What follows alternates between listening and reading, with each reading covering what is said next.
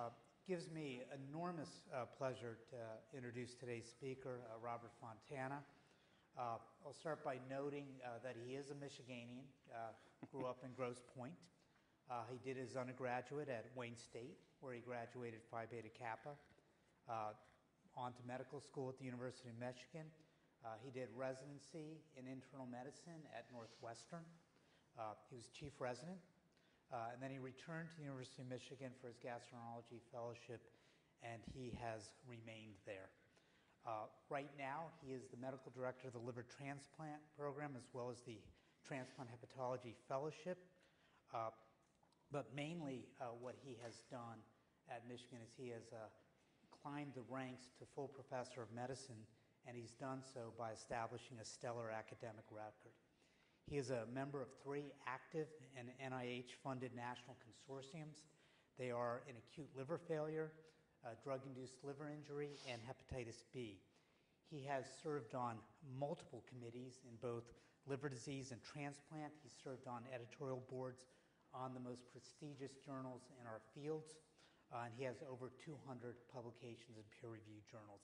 And uh, lastly but not leastly, he is a good friend to many of us in the hepatology group. Uh, so, uh, without any further ado, I'll introduce uh, Robert Fontana, who's going to be speaking on updates in acute liver failure.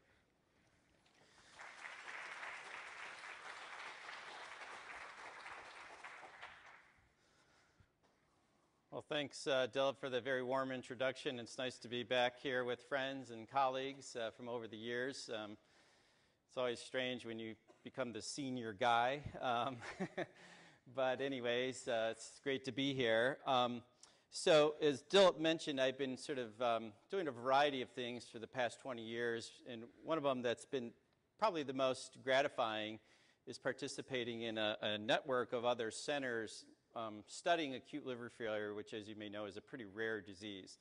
So, for those of you who aren't hepatologists, this may seem a little bit esoteric.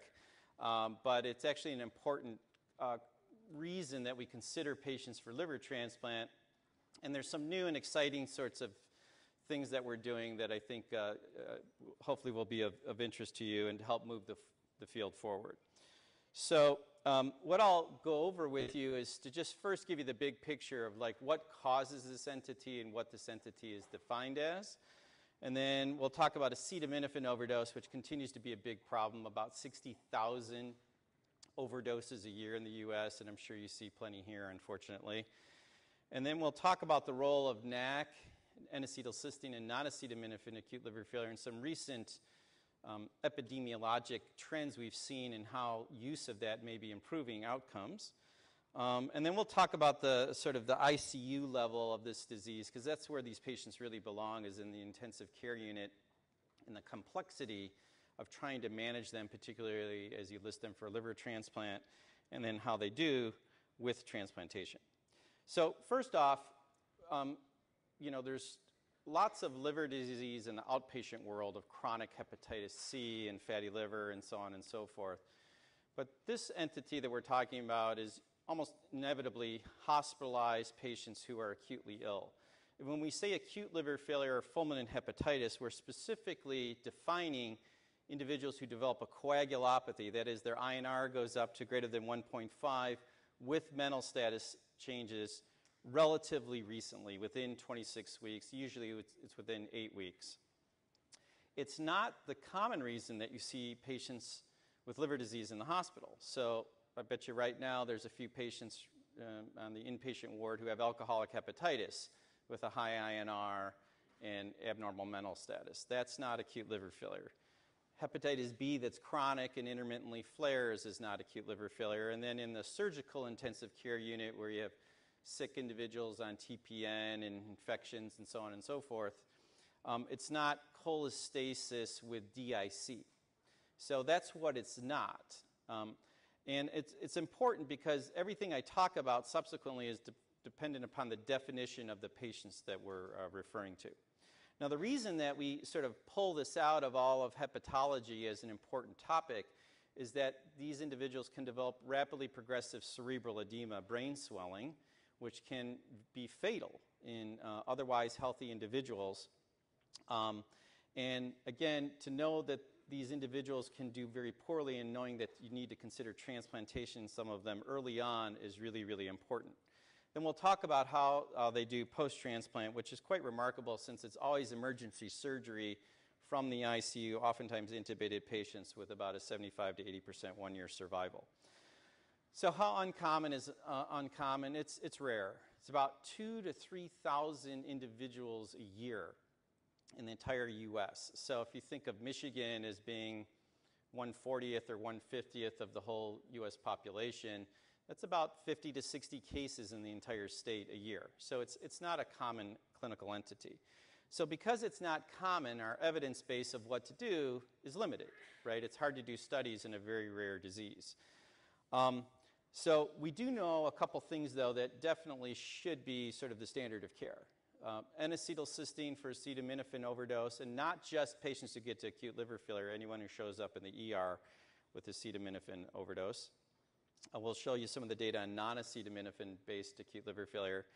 H2 blockers, when we used to use them in the 80s and 90s, reduced um, uh, ICU um, GI bleeding. CVVHD was better tolerated than hemodialysis in a study of 30 patients. And mannitol versus no mannitol lowered intracranial pressure. So if you're a purist, this is all you would do would be on the left-hand side of the slide. But there's certain things that you shouldn't do based upon what we've learned. So don't give steroids out of desperation. It's been tried twice in two prospective studies and not shown to improve um, outcomes. Enteral decontamination with old antibiotics from the 80s and 90s didn't do anything. No one's done a study with rifaximin in acute liver failure. Charcoal hemoperfusion, where you take the blood out of the body, you circulate it through a charcoal filter trying to remove hepatotoxins. That didn't work. In fact, it caused a lot of thrombocytopenia and bleeding. And then more recently, about 10 years ago, a bioartificial liver using porcine hepatocytes and a dialysis cartridge didn't work. And then albumin dialysis, which I was really hopeful would work because it's such a simple concept of hooking it up to a hemodialysis unit, that also didn't work in a multi center uh, study from France. So those don't help your patients. So, when you're trying to manage an individual patient, the first thing is to figure out what's causing the acute liver failure. And um, you'll, as you'll see in the next slide, acetaminophen is the most common reason that patients develop this clinical entity. So, you want to look for that based upon history as well as a blood level, um, and also using a drug screen because it's often taken with other uh, substances. Viral hepatitis, you know, you can order an acute Hep A, B, and C serologies and PCRs. But these other uh, diagnoses require a little bit more sophistication and time to sort out. So, once in a while, autoimmune hepatitis will present with fulminant phenotype. So, those patients, you need to get autoantibodies and invariably a biopsy to be certain about what you're treating. Uh, women in the third trimester of pregnancy, there's this whole differential diagnosis of liver dysfunction, uh, fatty liver pregnancy, preeclampsia, et cetera um, those individuals can um, present with liver failure either prepartum or postpartum, which is also an important point to realize. Even after delivery, the liver failure can set on. Uh, herpes and CMV are less than 1%, so they're rare. We always look for them, but they're treatable. Malignancy, I'd say about once a year, we'll see someone present with really fulminant cancer, oftentimes a breast cancer, or lung cancer that just completely infiltrates the liver. And obviously, that's important to know because we're not likely going to want to do a transplant there. Um, I'm from Michigan, so everyone at least has to consider Wilson's disease and the differential diagnosis, which is extremely rare. It's about one in a million. Uh, but um, it's important to establish for uh, uh, family screening. Budd-Chiari, also very rare. And then in Michigan, we don't see this. If we were in Texas, we would of heat stroke.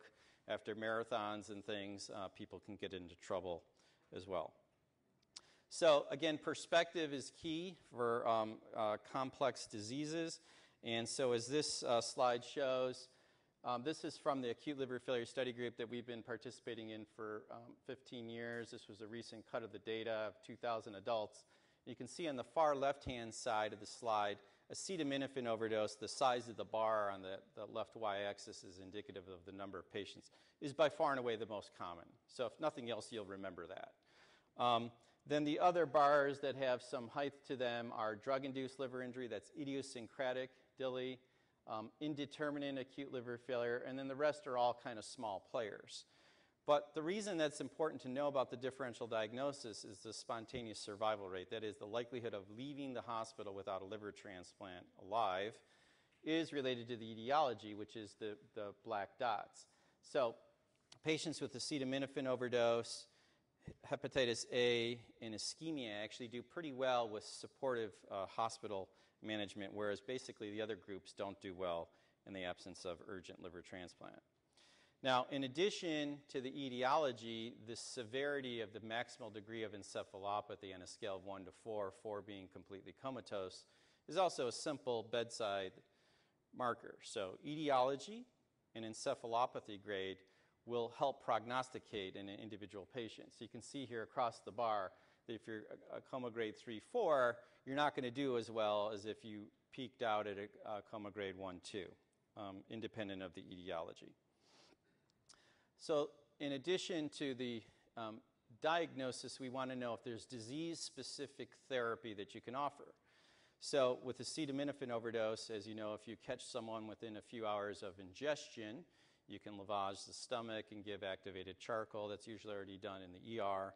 And then rapidly start N acetylcysteine. Um, Amanita mushroom toxicity, I think I've seen two cases ever in the state of Michigan. Um, we just don't see it in California and other areas of the country. They see it more. You can lavage out the um, amatoxins and also dialyze them out. Autoimmune hepatitis is theoretically treatable with steroids. Um, Budd Chiari, if you can anticoagulate your patient, uh, hepatitis B, and so on. Wilson's disease should theoretically be treatable with a chelation where you basically bind the free copper in the uh, circulating serum. We've tried that many times, as have others, and not been able to rescue someone from a liver transplant, but we still try. So, acetaminophen is really an important cause. Um, the data actually from this study has partly led to some of the labeling changes you heard about about two years ago. Um, the FDA has been carefully monitoring this, and despite changes in the labeling of acetaminophen based analgesics about two years ago, we're continuing to see, even in 2015 and 2016, about 50% of patients with acute liver failure, adults that is, um, is due to acetaminophen overdose. So it's a big public health problem because it's completely avoidable, right, if you didn't take too much. So it's the most common thing, and how do you make a diagnosis? Well, it initially starts as a clinical diagnosis with a high index of suspicion. How much is too much? Um, I saw a patient this morning who um, was taking four grams of Tylenol a day, and he called his nurse, and the nurse said, Absolutely don't do that. You're going to go into liver failure, which is not true. it is a dose dependent hepatotoxin, but you have to take very high doses of acetaminophen, usually greater than six grams at a single time point. But if you overdose over several days, you can still also get into trouble. Um, fasting depletes your glutathione. Alcohol revs up your oxidative metabolism, so those are risk factors. And clinically, most patients present with a high AST and ALT and a normal or near normal bilirubin. That's an important point um, from the get go. And you can check a serum acetaminophen level, but bear in mind again, if the bilirubin level is elevated and you're using a colorimetric assay, you can get a false positive acetaminophen level. Um, so let me go back here. So you're probably familiar with this from uh, those of you who've done internal medicine um, and ER training of the Rumack nomogram. This was developed back in the 1980s um, by a toxicologist. And basically, this is the plasma acetaminophen level here on the y-axis and the time after a single time point ingestion. And if your patient's blood level falls up high, they're very high risk for developing toxicity, it's recommended they get NAC. And here, these patients didn't get into hepatotoxicity. So it's a useful stratifying tool, although it's not an absolute rule. And in the original study, going back to 1981, all these patients actually got NAC, and less than 1% died.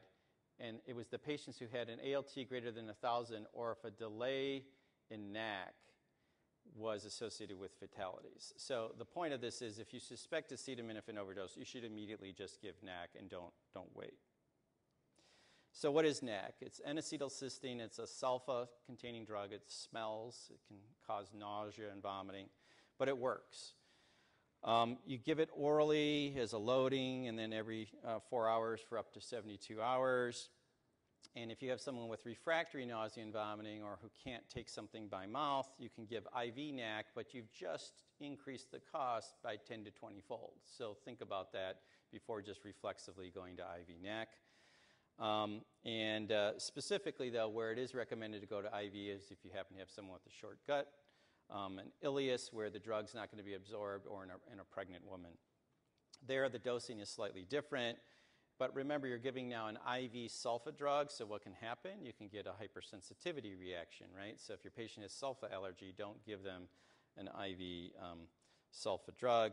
Um, and there's some weak data suggesting it may be proarrhythmic, although that really hasn't panned out in prospective studies. So we looked at our data from the um, ALF study base about 10 years ago. We actually have another paper coming out in the next year, but it uh, pretty much mirrors what we found 10 years ago. Um, and that is that roughly of the patients with acute liver failure, that is the worst of the worst with acetaminophen overdose, there's about 60,000 cases a year of overdose, but only about 500 of them will get to acute liver failure criteria. Amongst the acute liver failure, roughly half of them are intentional overdose, that is, someone knowingly took too much as a suicide gesture. But quite concerning is that nearly half of them are non intentional. So, in other words, these are people going to the doctor for some medical reason and they get too much, oftentimes through active prescription or lack of knowledge or a combination of those two factors. So, in the non intentional patients, they presented with lower ALT. They still took a whopping dose of acetaminophen. They had lower blood levels at presentation, but they were oftentimes polypharmacy here. Um, 40% of patients were taking one, more than one acetaminophen based analgesic. The majority were taking a narcotic based analgesic. And it's actually this data that led to the uh, reformulation of Vicodin, which, as you know, was the most commonly used narcotic in the US for years. They got rid of the uh, Vicodin ES that had 750 milligrams, that's no longer available. And they've reformulated most of the acetaminophen containing analgesics to reduce the amount. Because these patients were oftentimes getting narcotics, they oftentimes had more encephalopathy at presentation, but their outcomes were actually as good as the uh, intentional ones that were caught quickly in terms of the rate of listing for transplant and actual transplant and overall survival. And again, when we've updated the analysis recently, we're finding essentially the same trends that the non intentional patients can do as well as the intentional overdose patients, even though they're presenting later in the injury course. So, clinically, what do you do when you have one of these patients? Well, you, you need to monitor them in a proper and safe environment, which is, should be your intensive care unit. And it's like other sort of critical illnesses in the ICU, it's a trend over time that you're really looking for. Is the INR getting worse? Is it getting better? Is the factor five going down or is it coming back up? You're looking for really trends over time, uh, lactate levels, serial ammonia levels, and so on. And one of the key things you don't want to miss is hypoglycemia because your liver is obviously the source of glucose stores and gluconeogenesis. And when your liver's acutely failing, it's not going to be able to maintain a blood sugar level, so you need to supplement. Um, and oftentimes the question comes up from the intensivist well, you know, this guy's intubated, he doesn't look good. Should we do a biopsy to see if he's going to regenerate or not? And that's never been shown to be helpful clinically with prognostication. It's also very tricky to do a transjugular biopsy in these patients. So we don't recommend that unless it's going to help you with your diagnosis, not for prognosis. Now, in the ICU, um, these patients are critically ill. They oftentimes have multiple lines in. They get infections very commonly because your liver is actually the largest mass of Kupffer cells in your entire body. And it's not just the hepatocytes that aren't doing well, it's your immune system is also um, uh, malfunctioning. So they get a lot of bacterial infections, often the types of things that we see in an ICU staph, strep, and gram negative rods, respiratory and urinary pathogens. And then if someone sort of is not doing well three to five days in their hospital stay, think about fungal infection superimposed on their clinical syndrome. If they start getting a fever, more hypotensive, that's what fungus can look like. So most of us use preemptive broad spectrum antibiotics. We try to avoid nephrotoxic drugs. and try to keep the fever and temperature down because that can worsen cerebral edema and the hyperdynamic state. Coagulopathy is really the, one of the biggest clinical challenges here. They get low platelet count, high INR, and a component of poor clearance of the products of coagulation. So their um, uh, DIC profile is usually chronically positive in, a, in an acute liver failure setting. So interestingly, only about 10% of patients bleed though, because it may be that you're imbalancing your procoagulants with your anticoagulants, and some may actually be hypercoagulable, which is a little bit counterintuitive when you just look at the INR alone. Um, so the places where the patients tend to bleed are the mucosal surfaces in the GI tract. We use PPIs, although they've never been prospectively proven. They've certainly taken over H2 blockers. And then the question always comes up well, should I give FFP? This guy may bleed. What if he's going to develop an intracranial bleed? You don't want to do that, and you'll see actually it can actually harm your patient by just prophylactically transfusing, transfusing without a procedure planned. If you do have a procedure planned, you're going to want to try to address your coag status as best you can. So, in addition to general supportive care, is there anything more that we've learned that we can do that will help our patients? So, this was a um, multi center randomized controlled trial done by the study group, published in 2009, where we took patients who did not have acetaminophen based acute liver failure but had drug induced liver injury, autoimmune hepatitis, Hep B, or indeterminate acute liver failure, and they were randomized to IV NAC for 72 hours versus placebo. A very simple study design, but very difficult to actually implement. And of course, we hypothesized that the NAC treated patients would do better. Now, the primary outcome when the study was designed was overall survival at three weeks, and you can see there was no significant difference in the orange bars versus the blue bars. However, transplant free survival was significantly better, and certainly all of us who practice transplant would say it's better to leave the hospital with your own liver intact than with someone else's uh, put into you.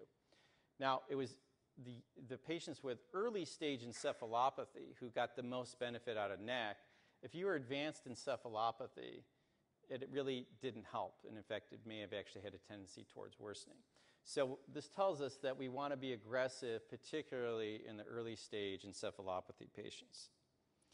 Now, as I mentioned to you, we're starting to see sort of when you have a rare disease, you have a study that's published, does that change the standard of care?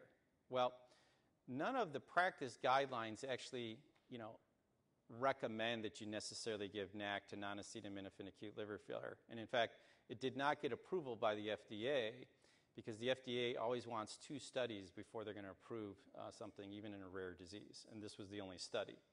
So what's happened is there's been a drift in clinical practice. And so what I mean by that is this is um, um, a paper we just published in Annals of Internal Medicine about a month ago. And what this shows is this is the um, overall use of NAC in patients with acute liver failure. This is acetaminophen patients, and the blue bar is the non acetaminophen.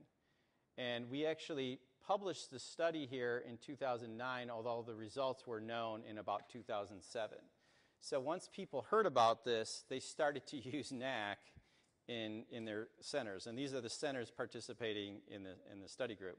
So you can see the proportion of patients really has gone up quite a bit in the non acetaminophen group. So you say, well, that's interesting.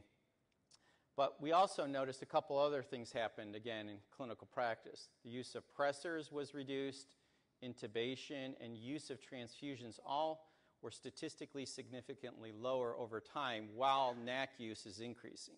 So we have multiple things going on at the same time, but what counts is the bottom line. So the bottom line here is overall patient survival here in the red is actually improving.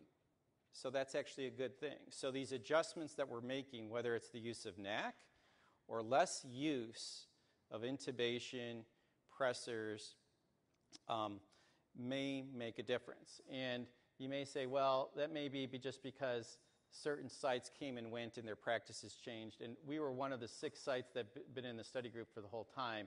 And you can see here that the survival in our center also improved over time as it did in others. And then this is a really important statistic here in the green, which is transplant free survival. So, patients who got listed for a transplant, that they were more likely to survive here in 2013 than they were here in, uh, back in 1998, and it went almost double from 20 to 40 percent. So this is very important for those, again, who practice um, transplant hepatology. So what do you do for liver transplant evaluation? This can be done very quickly. Um, you got to know what the patient has and what the likelihood is that they're going to survive, right? Um, your surgeons are going to need to sort of say, is this a technically doable um, uh, patient from a cardiopulmonary perspective and um, morphology, et cetera. You have to make sure that there aren't other diseases that you don't know about, make sure they're not actively infected, uh, and you can do all this in about 12 hours. So you can decide whether to list someone or not uh, pretty much the same day once you get this information. So while you're deciding, you need to manage the patient in front of you, and one of the key and tricky parts of this disease is cerebral edema, which is brain swelling and it can uh, be very subtle in its onset, just sort of slight slurring of words or hyperreflexia, and before you know it, your patient's comatose. So again, they need to be, whoops, they need to be um, carefully monitored in an ICU setting. So why does cerebral edema happen here, but not in the, you know, literally thousands of cirrhotics who make it into an ICU with chronic liver disease? The reason is, is that the pathophysiology is different. With acute liver failure, you basically have poor clearance of hepatotoxins, right, because the liver is not functioning to clear substances which it normally metabolizes and excretes. So there's more circulating um, substances from a, a failing liver. Um, and in particular, we believe that ammonia and ammonia like substances, which have been shown to be independent predictors, their levels with the likelihood of developing cerebral edema, causes cellular changes at the microscopic level in the brain. So we believe that these toxins basically make the blood brain barrier more leaky. And when it's leaky, fluid goes from the um, um, intravascular space into the um, tissue space. And as you know, your cranium is a fixed, hard structure. So as this tissue tries to swell, what happens you basically try to push the cerebral spinal fluid down into the spinal canal. And actually, at UCSF, they've actually used um, lumbar puncture as a way to assess cerebral edema, although that's a little tricky to do. But eventually, if this continues to swell, your brain will herniate and you will die. So, this is a very key part of the pathophysiology. Um, probably in the later stages, you lose the ability to control your intracranial uh, vascular resistance, which we're all doing. Just when I stood up and walk around and so on, our brains are automatically doing this. But when they're acutely injured, they don't do that. So even just simple movement of the patient's head of the bed can make a big difference with their intracranial pressure. So, what does this look like clinically back at the bedside? Well, again, your patient may have s- subtle, slow changes. These are people who are not chronically ill. They're coming into the hospital for the first time, so you may not even have sort of a baseline of what there is, although their family may notice that their personality seems different. They're more angry, they're more emotional, they're more labile, and so on. So, those are useful um, cues. You want them to be in a uh, quiet environment, minimal stimulation. Um, they may have difficulty sleeping. The last thing you want to do is give them a benzodiazepine or trazodone or what have you, because that will actually be poorly metabolized and then hang out in the body and actually confuse the clinical picture. And again, in particular, if they have a poor likelihood of surviving, you want to move quickly towards whether or not they're a candidate for a transplant. Grade two, uh, patients become now disoriented. It's more obvious um, drowsy, they may have asterixis, etc. And then here now the question is is this just the disease with diffuse cerebral edema? Do they have a focal neurological deficits and so on? And oftentimes you're going to need to do a head CT in preparation for possible intracranial pressure monitoring. And you may have to um, intubate your patient, and what we like to use is propofol or midazolam to control things with minimal cardiovascular um, impact. And again, antibiotics, prognosis, and so on. Now, um, invariably, as your patient gets intubated, you then have sedative drugs on board, and you've just lost your neuro exam to help guide you. So, where are you going with your patient? Um, this can be very complicated, and it's not just the brain, it's not just the ventilator, it's not just the dialysis, it's all these things combined at one time in an ICU setting. And, you know, um, changes on the vent can make the intracranial pressure worse or better. The rate at which you dialyze can make the intracranial pressure better or worse. So you need to, you know, start juggling multiple organ systems at the same time. So oftentimes in our ICU, although swans have generally gone out of favor in medical ICUs, they are sometimes helpful, particularly in these patients, because they can develop ARDS and you don't know what to do with their volume versus pressors, and they're also 50% will develop renal failure. I mentioned to you there was one study that CVVH is preferred over hemodialysis for these patients because it's better tolerated from a hemodynamic perspective. And at the end of the day, what you're really trying to do, although the liver is failing, you're trying to preserve the brain. So you want to maintain the cerebral perfusion pressure at at least 60 millimeters of mercury, which is, you know, we always know what the systemic mean arterial blood pressure is, but we oftentimes don't know what the ICP is short of a direct monitor. So you can potentially give pressors if you know that this is going up to maintain an adequate CPP, but you got to know that number.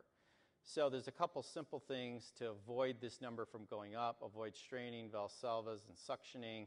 Keep the head of the bed at least 20 to 30 uh, degrees. And don't use high PEEP ventilation because PEEP in and of itself will increase intracranial pressure. So if you can get the direct number, you can solve the equation much more accurately. Um, and so put a monitor in. But remember, now they have the coagulopathy going on at the same time. So it's not an easy thing to do.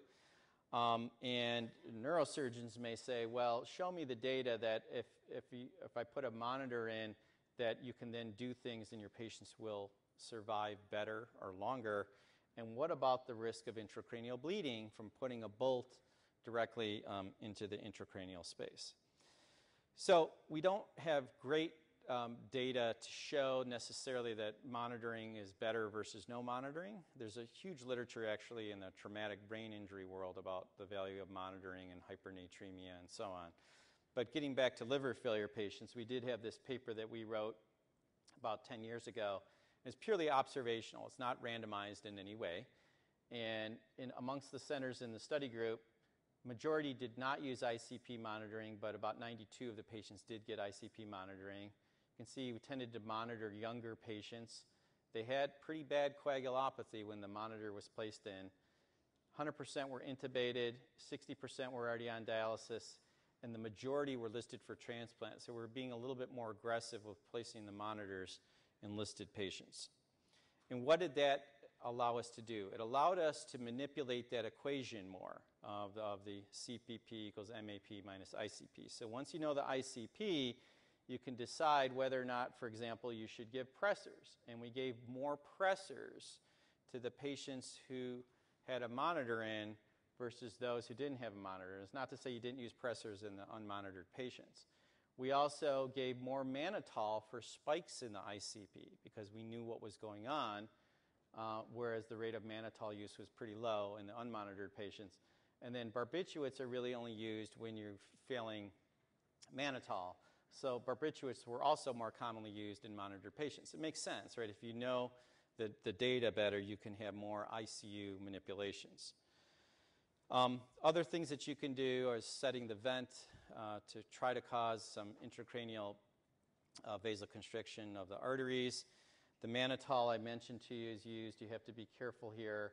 We're going more and more towards hypertonic saline. It's simpler to control in an ICU setting and there's less volume uh, issues with it.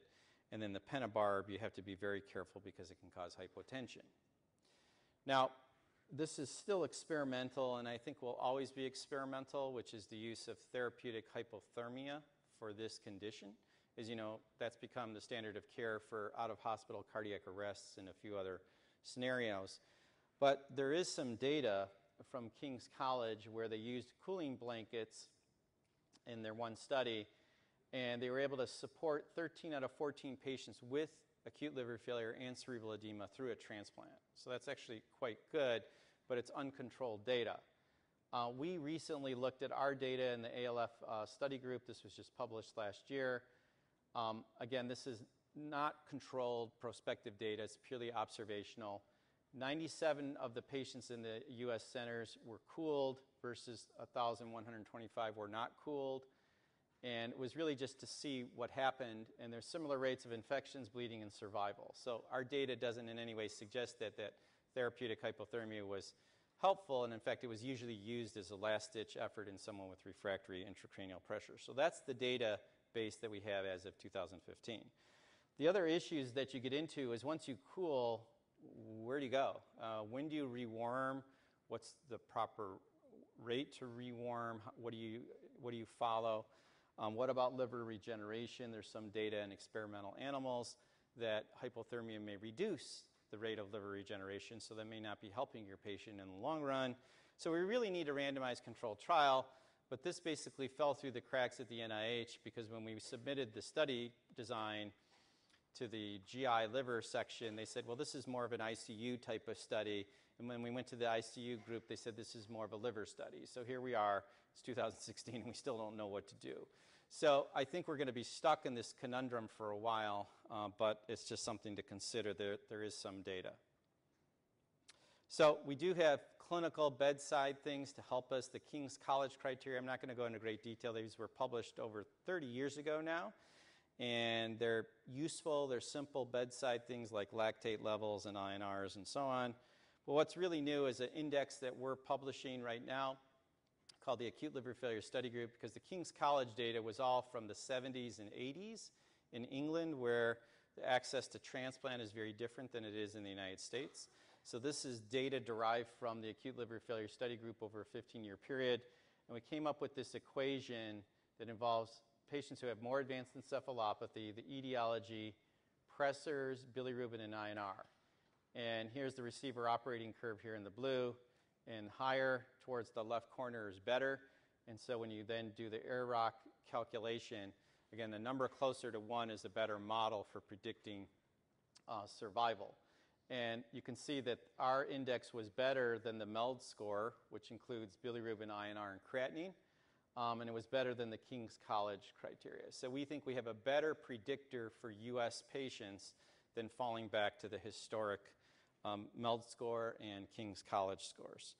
So you may say, that's great, how do I use it? Um, so we realized it's one thing to publish a paper with a complicated mathematical equation just like MELD score. So where we're going with this is to actually create an app. Um, and we're in the process of getting this uh, up and running. This is probably what it's going to look like and you basically just have to enter five variables into the app. You just tap on it. Uh, what's their encephalopathy grade? What's the cause? Are they on pressors? Yes or no? What's their bilirubin and what's their INR? And the computer then does the uh, calculation. And amongst the etiologies, you're just going to pick whether it's favorable or unfavorable. So, you, again, you, you need to know obviously what the cause of acute liver failure is. And you plug it in, and you get your number. Uh, and then you have to decide do you believe that number to help you make decisions at the bedside. So it's not been validated prospectively. We're actually working with some groups in Europe to help, help us validate it and see if we have the right coefficients in the equation. So, getting back though to the uh, ICU with the patient in front of you, um, if they're getting sicker, um, and, but their blood pressure is dropping. Should you be necessarily going forward with the transplant? Organs just become available, maybe tomorrow, et cetera. It's very difficult clinical circumstances to manage. And in fact, about 10 to 20% of patients will die in the ICU listed for liver transplant because their cerebral edema or another uh, complication progresses, despite everyone's best efforts. So we, unfortunately, as everyone else, has had to go to making sure the brain is functioning in occasional patients and finding out that they've lost all intracranial blood flow. You don't want to do a liver transplant there, and then that actual individual can become a potential organ donor. So, who don't you transplant if the sepsis is uncontrolled, multi organ failure, refractory hypotension? I'm talking like two, three pressors, 100% oxygen, uncontrolled intracranial hypertension, or if they've just had a massive intracranial bleed, which doesn't happen that often, but once in a while does. So there are certain things that we're constantly looking for uh, to not proceed with the transplant. So rather than waiting till the dire end, the key thing is early referral of these patients to a transplant center.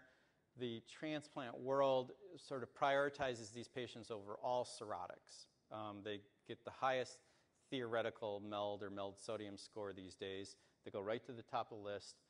You can transplant ABO compatible as opposed to identical livers. Um, uh, some authors have even talked about ABO incompatible livers out of desperation. Um, the mean time to transplant uh, is, is about three days, so that's quite a long time with a critically ill patient. In the US, though, this is pretty uncommon. Again, you know, there's 40 to 50 cases in the whole state. I think between the three transplant programs in Michigan, there might be eight or nine of these cases a year who end up with a liver transplant. So it's not very common. The good news is, is that they generally do quite well despite the emergent nature of the surgery and so on and so forth. So to summarize, I hope I've been able to communicate with you that acute liver failure is a rare but important dramatic illness, usually arising in previously healthy individuals. So making a diagnosis quickly is really important so that you can initiate disease-specific therapy as well as general supportive care that we know works. And I would advocate that we should give N-acetylcysteine to anyone who you suspect has any component of acetaminophen in the picture. Um, and certainly for non-acetaminophen acute liver failure, I've shown you that that trend over time, that survival is improving. Why it's improving, we don't know, but NAC use may be one of them, and that's important to be aware of. But we're still going to have the issues of cerebral edema and sepsis to deal with, so that's again on an individualized basis.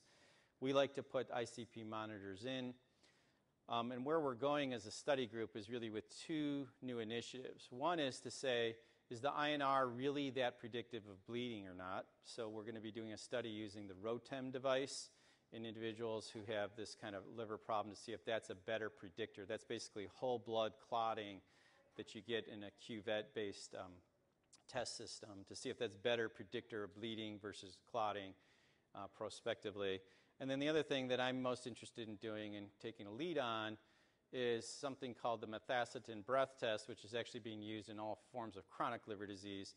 But it, there's some data to suggest that it may predict who's going to recover. So we're just getting started on that study as well. Probably take about two years to get the data. So, so we're working towards better prognostic tools as well as what to do on an individual case basis. But at the end of the day, invariably some patients are going to need a liver transplant, and the sooner they get it, probably the better for them in terms of um, the long run. So, with that in mind, um, obviously, this is a huge amount of work that I presented, and this is the, the work of many individuals over many years. Um, each year, we get together in Washington. This is Dr. Will Lee, who some of you may know. He's the founder of the study group. Um, and this was a more recent event. And we typically get about 50 to 60 people together twice a year to kind of brainstorm and come up with new ideas for ancillary studies. We have a website. Um, and then these are the individual sites. And we've recently changed the structure so that the four of us are now kind of all co running uh, the network um, in the next wave as we go forward. So, with that, I'd like to thank you for your attention and see if there's any questions. Thank you.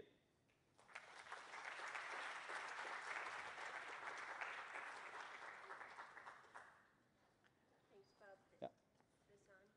Yep. Or I'll just talk really loudly. Anyway, thanks, Bob. Yeah. That was, that was excellent. Um, A really great overview, I think, of one of the major issues that we face uh, in liver transplantation. Uh, We see a lot of these patients here and many of the people in the audience uh, because of our involvement in transplant, the ICU, uh, renal failure, they all get involved in these patients as well. But uh, are there questions from the audience for Dr. Fontana? Yes. Uh, So, Bob, the, uh, with acetaminophen, the, uh, the elephant in the room is always alcohol. Right. Uh, Is is that something you can talk about in terms of prognosis, your approach? Yeah, so, so we've looked at alcohol as a, um, a predictor of um, likelihood of survival or not. And we've also looked at the patients who got transplanted, which is oftentimes the thing that you're grappling with, right? Should you transplant this patient or not, and what's going to happen? So, on the flip side of that, which is the long term outcome, we've published a couple papers there. And not surprisingly, because you've not had a relationship with that individual patient, you have to decide, like today or tomorrow, you're going to transplant them. There's a lot of psychiatric comorbidity that goes on post transplant. And so those patients require more follow up than anyone, even if they've surgically recovered and their LFTs are doing well, because they can fall back into bad habits. And we've had a lot of circumstances where that's an issue. So, um, so they're, clearly they're a high risk group, um, but they're generally very young individuals um, who otherwise come from a supportive environment. And so that's, you know, there's no rules of thumb here on how to proceed. As you know, this is a very difficult area. Uh, need to use ICP monitor, what, uh, what technique do you use? What product? Yeah, so uh, I'm not a neurosurgeon, but from what I understand, the Camino catheter, which was a popular one, for some reason the manufacturer stopped making it. Um, so our, our neurosurgeons now do the intraparenchymal monitors like they use for traumatic brain injury patients. And um, in that one paper from Dean Karvellas, we actually reported on our updated results of intracranial bleeding, and it's still less than 5% with intraparenchymal monitors. So that's what we use. Interestingly, the um, neurosurgeons now feel comfortable doing this at the bedside, um, which of course makes it a lot easier. You don't have to move the patient down to the OR and all that movement and so on, but that's obviously up to your uh, neurosurgical team. And also, I make comment, I don't know who's in the audience, but there's more and more neurointensivists who are neurologists who, from my understanding, are, are doing more of this type of monitoring as well. Um, the other thing that we've looked at as a non invasive way to get, to get rid of the invasive is the interesting um, idea of the um, optic nerve sheath diameter. So you can use an ultrasound probe on the globe of the eyeball to see what the diameter of the optic nerve is. Um, and that's been associated with direct ICP uh, measurements. And that's actually being used again in the neuro critical care trauma world. Um, certainly would be nice to have something that's simple at the bedside, but of course, then there's the operator issue of knowing how to interpret the image and are you sure and so on and so forth. But that's an interesting concept. Blood biomarkers are also being investigated, like markers of brain injury, you know, uh, of astrocytes being necrosed and releasing into the systemic circulation. We've looked at a couple of them, and none of them have actually correlated with outcomes, so we don't know really what they mean. So we're, we're looking for non-invasive, um, you know, measurements. Uh, Can we get back to your, um, the, the app that you're using? So uh, I'm interested to know, you know, early on, some of the data with intracranial pressure monitoring was some of the benefit that we saw in survival was more related, we think, to removing patients who were not going to recover neurologically and not transplanting them. Right. the overall transplant benefits seem to be improved because you moved more appropriate candidates toward them. When you've looked at the app that you've developed, Right. um, do you get a sense that you're going to be able to identify a point at which transplant's probably not going to benefit the patient? Yeah, so it goes, that's a good question. So you can build a model to do whatever you want, right? So to, to predict who not to transplant, for example, amongst listed patients. But we didn't do it that way. We looked at the whole universe of acute liver failure patients, partly because we have greater statistical power, and secondly, um, not everyone is a transplant candidate for a variety of reasons. So, um, so we haven't done that exact exercise to see if there's a different set of parameters, for example, once you have someone listed. That being said, we just published a paper in liver transplantation with Raj Reddy, I think is the first author, where he did look at the likelihood of getting a transplant or dying right from the time of listing, which is kind of getting at what you're asking. And it was interesting, the acetaminophen patients played out in about 48 hours. Either they got transplanted, or they died, or they're going to recover. The other ones, though, took up to five days. So you're still transplanting your fulminant Bs, your autoimmunes, four, five, six days later. So I think that's very relevant, and we proved it, but I, I think that's kind of intuitive. That's what I would expect, that the regeneration is more rapid if it's going to happen with acetaminophen. And so that brings up the other issue is, is there any other pro-regenerative medicine that we could give to avoid transplanting someone, even if they're listed? And there's some very provocative data from um, India suggesting that GM-CSF may enhance liver regeneration. I kind of find it hard to believe because it's like 100% survival versus zero uh, in their pilot. Uh, so I, am a little skeptical We've talked about maybe doing a clinical trial there, but uh, you know, maybe. And certainly not the standard of care. Any other questions for Dr. Fontana? Great. Well, I'd just like to thank you. Thank you.